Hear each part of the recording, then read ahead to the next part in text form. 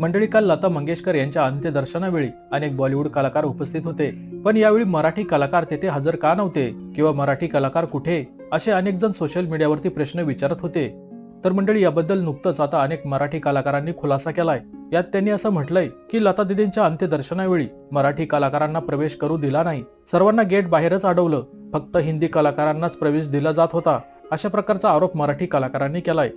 याबद्दल मराठी अभिनेत्री हेमांगी कवी ही म्हणाली की सरकारी प्रोटोकॉल्स आड आले. मला गेटमधून आत जाऊ दिलं नाही. खूप विनंती केली. मला या गेटवरून त्या गेटवर जा म्हणत राहिले. शेवटी एका पी एस आय साहेबांना माझी दया आली आणि मला लपून छपून कसाबसा प्रवेश मिळवून दिला.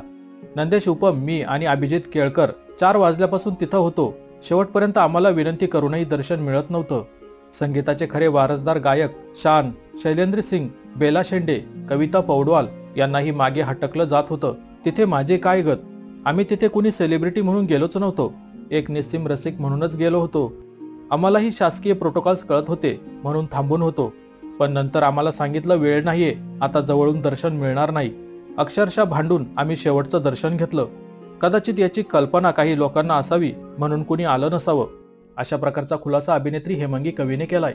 यावरून मुंबईत प्रत्येक गोष्टीत मराठी कलाकारांपेक्षा हिंदी कलाकारांना कसं प्राधान्य दिलं जातंय हे सुद्धा स्पष्ट दिसतंय. तर मंडळी मराठी कलाकारांच्या या आरोपावर तुमची प्रतिक्रिया काय? ते या व्हिडिओ खाली कमेंट करून नक्की सांगा.